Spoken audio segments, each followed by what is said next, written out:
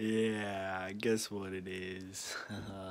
it's another video saying that I didn't do anything. Well, I did do stuff today. Uh, went to Spin City, recorded it, I skated. It was for my sister's uh, birthday. I don't know if this is the camera I'm looking at. Okay, there it is.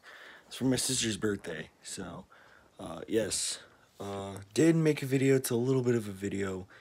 Uh, I basically recorded us skating and then my mom took my camera with her in the car so I didn't get much to film but I just filmed the skating and then a little bit of laser tag so I don't know if I'm gonna post it or not but uh, there will be a video tomorrow so peace